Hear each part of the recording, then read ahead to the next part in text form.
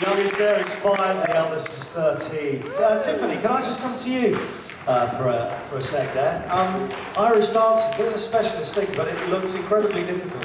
Um, indeed, I'm, I, I'm not an expert on Irish dancing, but I know for definite, I just loved what you did in terms of the presentation.